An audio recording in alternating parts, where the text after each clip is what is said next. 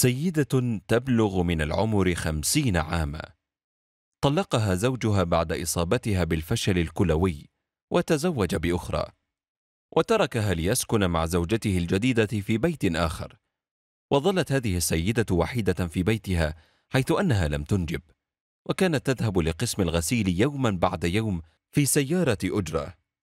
وفي إحدى جلسات الغسيل تعبت هذه السيدة تعبا شديدا. وحدث لها هبوط في سكر الدم وأرادت العودة لبيتها. في هذا الوقت كان بجانبها سيدة في الستين من عمرها. تجلس على كرسي الغسيل ويرافقها ابنها وهو شاب ملتزم وكريم الخلق.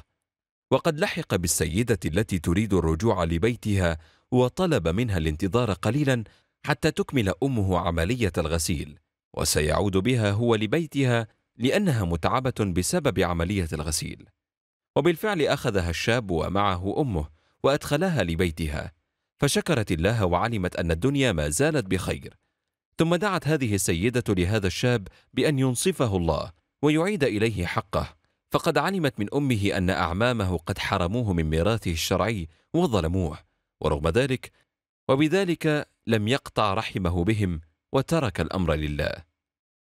غادر الشاب وأمه بيت السيدة المطلقة. بعد أن أخبرها بأنه في موعد الغسيل القادم سيأتي ليأخذها مع أمه واستمر يأخذها للغسيل ويعيدها لبيتها. وفي إحدى جلسات الغسيل أخبرها الشاب بأنه وأمه سيذهبان لأداء العمرة وعرض عليها الذهاب معهما فأخبرته بأنها تتمنى ذلك ولكن ليس معها المبلغ المطلوب. فقال لها في الموعد القادم للغسيل أحضري معك جواز السفر ولا تفكري في شيء.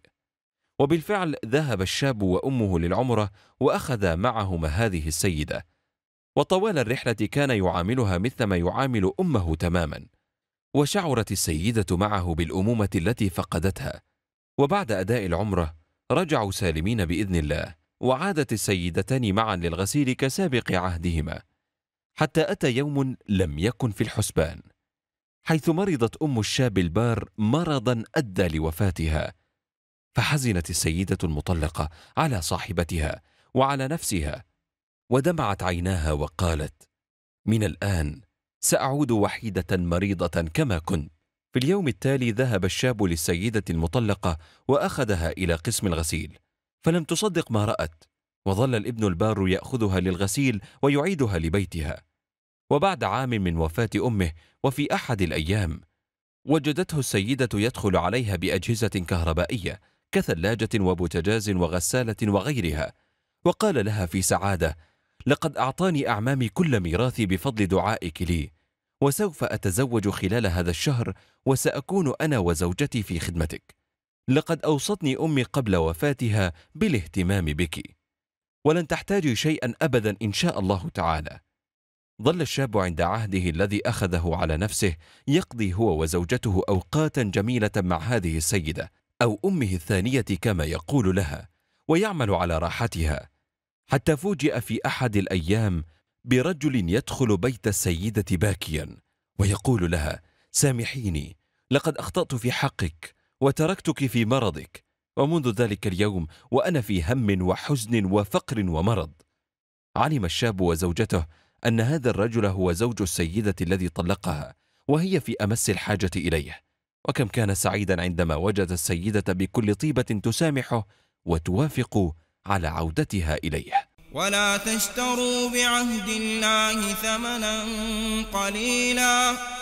إنما عند الله هو خير لكم إن كنتم تعلمون.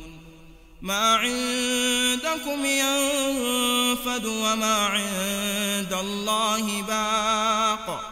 ولنجزين الذين صبروا أجرهم بأحسن ما كانوا يعملون.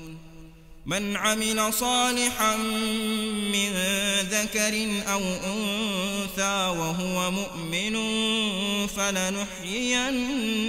فلنحيينه حياة طيبة ولنجزينهم أجرهم بأحسن ما كانوا يعملون